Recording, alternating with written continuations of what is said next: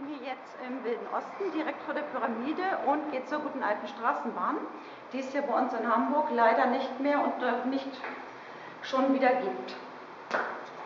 So, Tür geht auf. Hier die Pyramide einmal gezeigt und da hinten ist die gute alte Straßenbahn.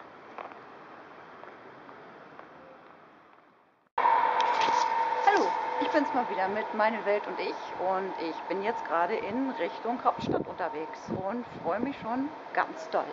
Nähere Infos kommen. Hallo, ich bin Nicola Langer und gerade im veganen Restaurant Wildrose in Berlin. Ich bin hellauf begeistert. Das hier ist der Inhaber. Wie sind Sie darauf gekommen, dieses Restaurant zu eröffnen? Erzählen Sie doch mal. Äh, das ist vor 15 Jahren geschehen. Oh, so lange schon.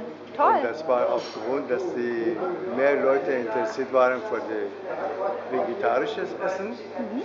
Und die, leider bin ich nicht der Besitzer, der ist Herr Dr. Sade der Besitzer und seine Frau. Okay. Und wir haben dieses Projekt eigentlich entwickelt und weitergemacht.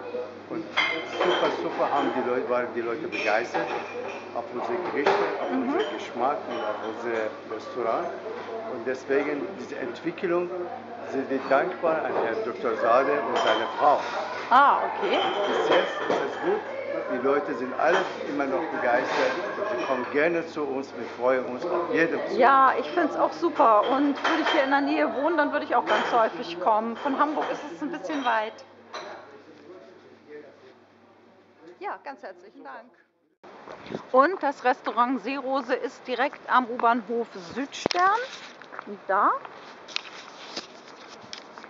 Und die Adresse ist, weißt du die noch? Wie? Straße 35. Görke? Körte.